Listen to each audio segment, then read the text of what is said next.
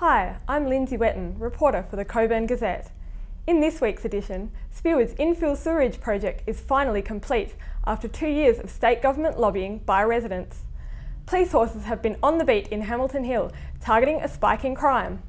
And an entire Atwell Street has been lighting up for the festive season to raise money for PMH. For all this and more, read this week's edition of the Cockburn Gazette.